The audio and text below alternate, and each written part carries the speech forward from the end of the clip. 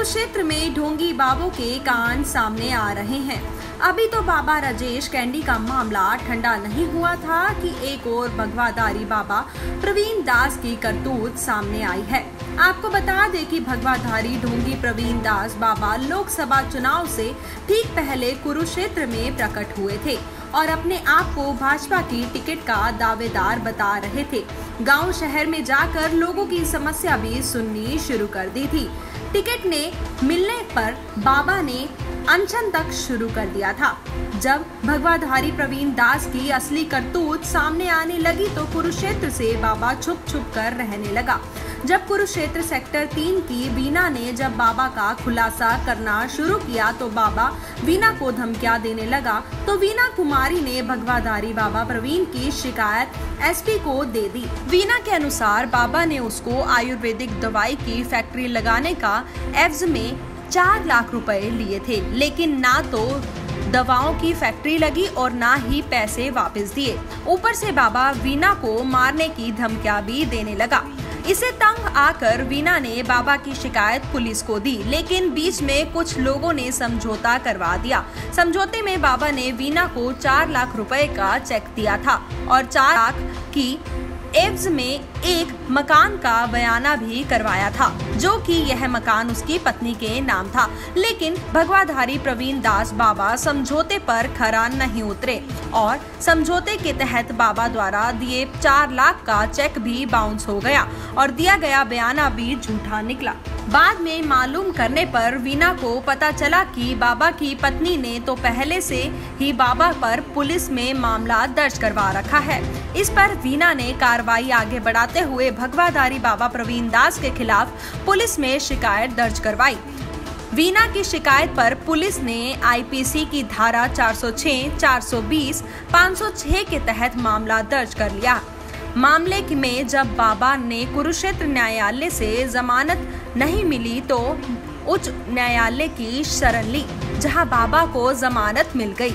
जमानत मिलते ही बाबा अंडरग्राउंड है। मामले के जाँच अधिकारी चांदीराम से जब इस बारे में बात की गई तो उन्होंने बताया कि मामले की जाँच में बाबा बिल्कुल सहयोग नहीं कर रहा और भगवाधारी बाबा प्रवीण दास के खिलाफ धारा 406, 420, 506 आईपीसी के तहत मामला दर्ज और जाँच जारी है। जमानत के बाद से बाबा अंडरग्राउंड। हाँ जी उसने ना पहले तो मैं मतलब जो है किसी के थ्रू इनके ट्रस्ट में गई थी। और इन्होंने मुझे जो है वहाँ महासचिव का पद दिया और बकायदा मेरी अपॉइंटमेंट लेटर मुझे दिया इन्होंने और बड़े बड़े सपने दिखाए कि इसमें हम फैक्ट्रियाँ लगाएँगे, दवाइयाँ मतलब बनाने की और उससे बहुत ज़्यादा इनकम होगी। और इन्होंने ऐसे धोखाधड़ी से मेरे पास से जो है चार लाख रुपया ऐंठ लिया। दो लाख एक बार लिया इन्होंने, दो लाख एक बार लिया।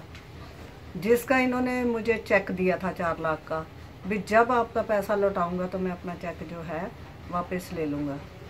इन्होंने उसके बाद ना कोई फैक्ट्री लगाई ना कोई दवाइयों की मशीन लगाई ना कुछ और पैसा देने में भी आनाकानी करने लग गए। तो फिर क्या पुलिस पे आपने शिकायत दी इसकी? उसके बाद जो है हमने वो चेक जो था बैंक में लगा दिया। तो वो बैंक में जो चेक था वो बाउंस हो गया। फिर मैंने इनके खिलाफ जो है एसपी साहब को कंप्लेंट दी।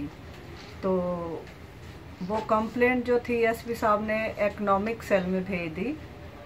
वहाँ फैसला हुआ कि पंचायत आई थी काफ़ी लोगों की, जिसका बकायदा मतलब इकनॉमिक सेल पुलिस थाने में फैसला हुआ था।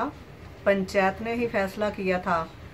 तो ये कहता कि मेरे पास पैसा तो है नहीं है, बाकी मेरा जो मकान है वो मेरी वाइफ के नाम से है। और मैं जो है, उस मकान का बयाना जो है, मैं इनके नाम करवा देता हूँ। उसमें इसने तीन महीने का टाइम ले लिया। और मकान की कीमत सोलह लाख रुपए थी, डाली हुई। तो जिसमें इसने कहा कि मैं तीन महीने में पैसा वापस लौटा दूँगा, अगर ना दिया तो बाकी की बाकी का पैसा दे के और मकान जो है, उसकी रजिस्ट्री ये अपने नाम करवा लेंगे। तो वो बयाना भी मेरे पास इस टाइम भी मतलब बाकायदा है। और इसने जो टाइम दिया था, उस टाइम पे ये जो है, तहसील में नहीं पहुँचा। उसकी भी तहसील में हाजिरी लगी हुई है और हम इसकी वेट करते करते रहे और ये आया ही नहीं है। तो चार लाख रुपये जब बयाना लिखवाया था मकान का, तब इसने लिया था कि आठ लाख भी मेरे पास इस टाइम पैसा भी नहीं है और मैं बहुत परेशान हूँ। तो चार लाख और ले लिया, आठ, यानी कि कुल मिला के आठ लाख रुपया हमने इसे लेना है। और उसके बाद जो था, इसने पैसा भी नहीं हमें दिया और ये परेशान करता रहा और धमकियाँ भी देता रहा मुझे लोगों को भेज भेज के। तो फिर हमने परेशान होके इसके खिलाफ जो है कोर्ट में केस कर दिया। अब कोर्ट में केस चल रहा है और इसके खिलाफ 26 अप्रैल को एफआईआर दर्ज दोबारा से भी हुई है। तो और उसमें इस... किस धारा में मुकदमा दर्ज किया गया पुलिस ने? 420 में। 420 406 और एक और धारा है तीन चार धारा इसके खिलाफ लगी हुई है। मारने की धमकी दी थी जान से मारने की धमकी भी इसने मुझे दी थी। तो मतलब जो है इसका धारा इसके खिलाफ काफ़ी लगी थी।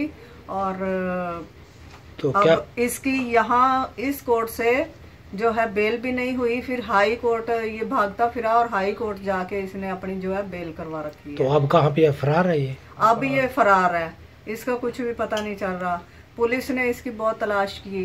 और इसका मोबाइल भी ट्रेस करने की कोशिश की लेकिन इसका कुछ पता नहीं चला है। हाँ जी इसकी पत्नी ने मतलब अपनी इसकी जो वाइफ है उसने कहा था कि इनका पैसा वापस लौटा दो। तो इसने मेरे सामने उसकी भी मार पिटाई भी की और फिर उसको छोड़ के ये फरार हो गया और कहीं और रहने लग गया। इसकी वाइफ ने इसके खिलाफ काफ़ी इसी कोर्ट में कुरुक्षेत्रा कोर्ट में इसके खिलाफ पाँच छः केस जो हैं वो डाल रखे हैं जो अब भी कोर्ट में चल रहे हैं।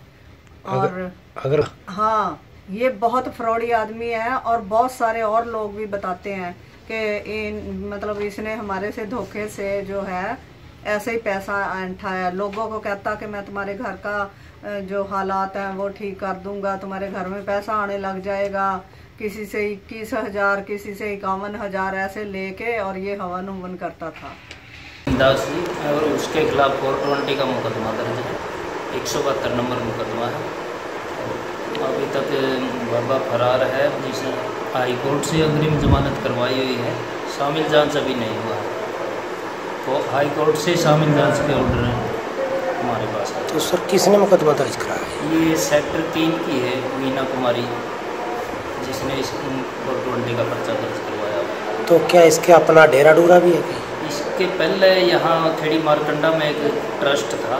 उस ट्रस्ट में इस लेडीज़ के साथ इस धोखाधड़ी से पैसे लिए थे और उसके बाद ये बाबा फरार है उसके पैसे ताज़ा अपडेट्स के लिए अर्थ प्रकाश टीवी को सब्सक्राइब करें और बेल आइकन को प्रेस करें।